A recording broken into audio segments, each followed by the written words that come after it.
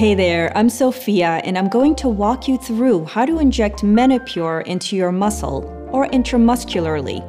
This method helps the medication absorb into the bloodstream more quickly. These instructions are broken up into five quick steps. Let's start by making sure you've got all your supplies ready to go. Depending on your dose, a vial or more of Menopur each vial should contain powder or a pellet, a vial of sterile diluent, a syringe, a mixing needle, an injection needle, plus alcohol pads, sterile gauze, a sharps container, and a clean surface. You may get prescriptions or supplies that use cc or ml interchangeably. Don't worry. They're just different names for the same amount of volume. For example, 1 cc is equal to 1 ml. Also, check to make sure the diluent is clear and doesn't have any particles floating around. If you see anything, don't use it and call your healthcare provider right away for next steps. Now, go ahead and wash your hands really well with soap and water.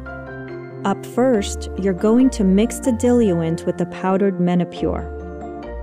Start by removing the caps from both vials and wiping the tops of each with an alcohol swab. Unwrap the syringe and mixing needle.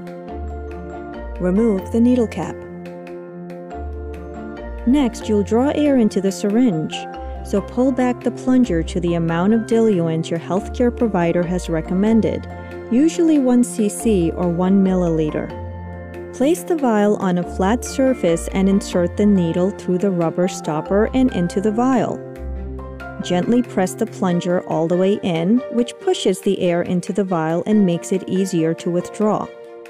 Then, without removing the needle, turn the vial upside down. Make sure the tip of the needle stays submerged in the solution as you slowly pull back the plunger to withdraw the recommended amount of diluent. Now, you can remove the needle and syringe from the vial. Next, place the vial of Menopur powder on a flat surface.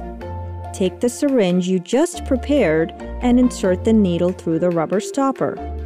Then, slowly press the plunger to inject the diluent into the vial. Without removing the needle, gently swirl the vial to allow the powder to dissolve. Then push the plunger down to remove any extra air that's in the syringe. You'll want to use a solution right after mixing.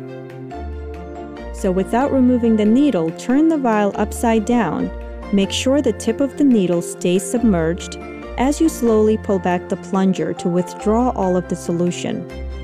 If your dose is more than one vial, use the syringe you just prepared to mix up to five more Menopur vials. There's no need to add more diluent. If you have any questions, call your healthcare provider.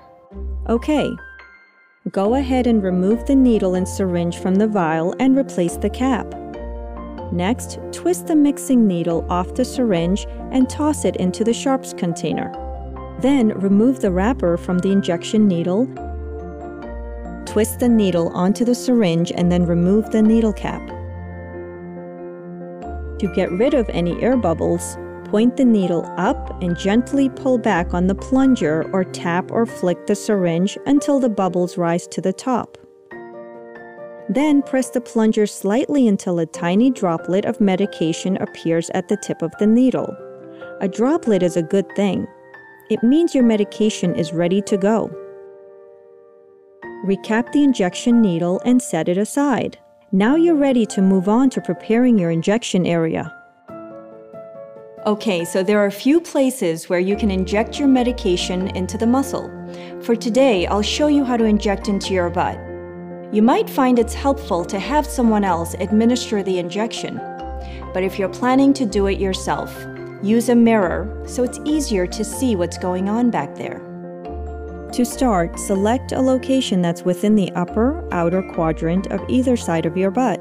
Keep track of which side you inject since you'll switch sides each day.